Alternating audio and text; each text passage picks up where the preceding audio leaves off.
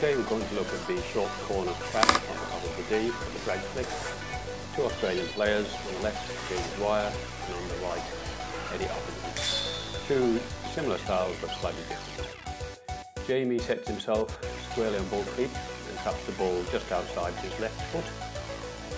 Eddie on the other hand receives the ball in line with his left foot but shifts the left foot just before the ball arrives.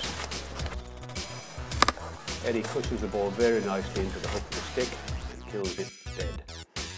Both players look up at the target before the ball is injected, position themselves and reach across, angle the stick, hands apart, as you can see, the stick pressed firmly into the ground, point contact.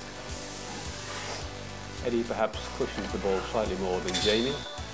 Uh, Eddie's more of a specialist in this particular position than Jamie is. He pushes it very nicely, kills the ball, angles the stick forward, and away she goes. Here's Jamie shifting across the top of the D from one castle to the other in uh, a particular formation, just depending on which short corner the coach has called.